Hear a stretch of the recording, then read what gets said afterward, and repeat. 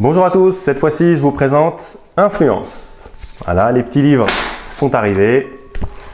Ça sent le neuf. Très satisfait du résultat. Donc un livre sur le Witchen et le pile ou face, 100 pages. Voyez, et je vous garantis que ce ne sont pas des pages pour faire des pages, c'est-à-dire que c'est vraiment un livre qui aurait pu être plus long, mais j'ai voulu vraiment aller à l'essentiel. C'est un livre en trois parties et je vais vous présenter rapidement donc ces trois parties. Alors, cette première partie est composée de 10 chapitres. Le premier chapitre traitera 10 effets possibles avec le Witch End. Donc, bien sûr, l'effet le plus classique, le premier, c'est de deviner dans quelle main le spectateur cache l'objet. On verra également dans cette partie comment euh, réaliser la routine The Secret de Mindbox, mais sans jamais toucher la pièce. Tout se passe dans les mains du spectateur. On verra également quels sont les objets qu'on peut utiliser, donc les objets naturels, les objets personnels, les objets détournés expressément pour le dans quelle main, et les objets contenant des prédictions. C'est-à-dire qu'on fait une série Witchen avec le spectateur, et à la fin, il constate qu'il tient la prédiction depuis le début de la routine. Là, je trouve que c'est une approche qui est assez intéressante. Ensuite, deuxième chapitre, on verra 10 méthodes impromptues. Donc forcément, vous en connaissez euh, déjà quelques-unes, mais il y en a trois qui sont personnelles qui n'ont jamais été publiées. Et ensuite, on enchaîne avec deux algorithmes qui ont la particularité d'être très faciles à apprendre. Vraiment, euh, vous avez juste à appliquer le concept et qui vont vous permettre de deviner dans quelle main le spectateur cache un objet de façon 100% impromptue et surtout sûre à 100%. Donc là, ce sont des méthodes impromptues vraiment très très efficaces, donc je les ai mises ici pour que vous puissiez après les réutiliser dans n'importe quelle routine.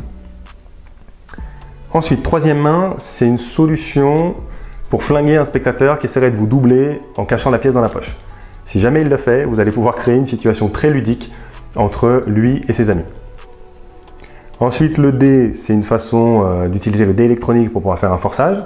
Sans doute que vous connaissez déjà, mais si vous ne connaissez pas, vous serez content de le découvrir. C'est une, astuce qui est assez efficace.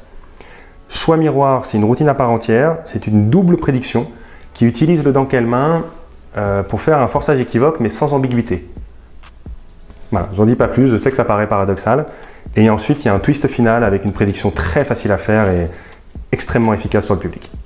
C'est inspiré un peu du film Matrix, mais bon, j'en dis pas plus parce que c'est un, concept que j'utilise beaucoup par ailleurs. Ensuite, pile en main, identifier un pile ou face, contrôler un pile ou face.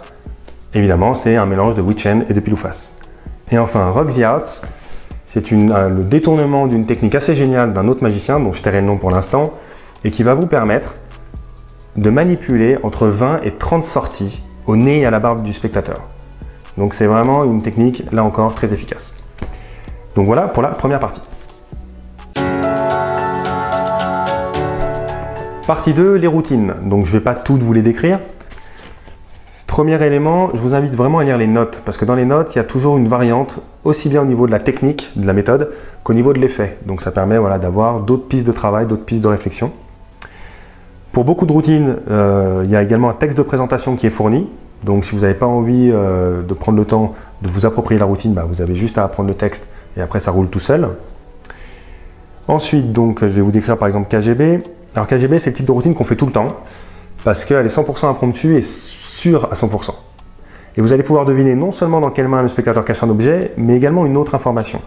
Et typiquement, quand vous avez fait cette routine à un spectateur, il y en a toujours un deuxième qui vous demande de lui faire. Donc vous allez pouvoir enchaîner en fait sur, euh, sur tout le groupe. Mais si vous voulez vraiment exploiter cette routine, Faites monter quatre spectateurs sur scène, ils tiennent chacun un objet personnel dans, une main ou un objet imaginaire.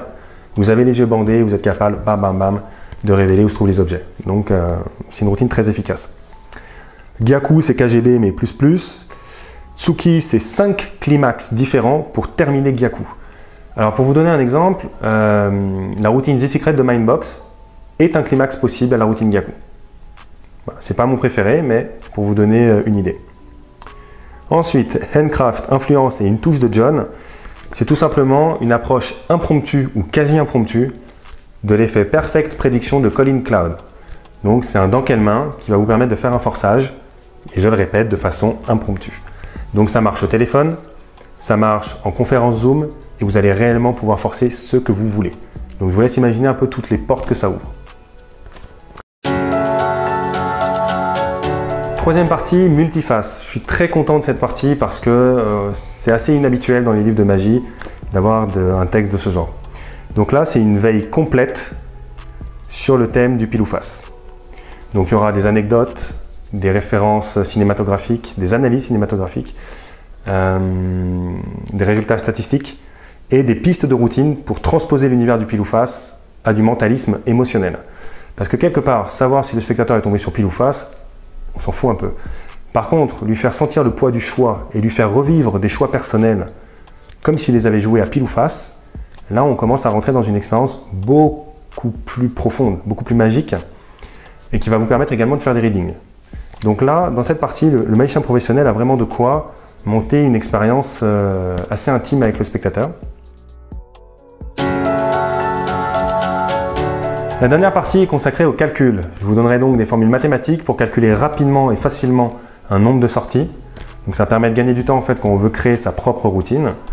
Et ensuite on verra comment en faisant varier les paramètres, comment on fait évoluer les expériences WeChain pile ou face et FreeWheel chair test. Ça permet de voir qu'à partir d'un certain niveau, FreeWheel devient plus impossible que WeChain. Enfin, il y aura un travail sur la structure d'une séquence WeChain permettant de donner plus de choix au spectateur, main droite, main gauche ou dans la poche par exemple, tout en ayant moins de sorties à gérer en tant que magicien. Ça peut paraître paradoxal, mais c'est possible, notamment avec le Rock the Outs expliqué en première partie. Enfin, bien sûr, on termine par des conclusions et une bibliographie exhaustive sur le Witchen et le pile ou face. Donc voilà pour ce petit livre court mais dense. J'espère qu'il vous plaira et surtout qu'il vous servira. Si vous avez des questions, n'hésitez pas et merci de votre attention.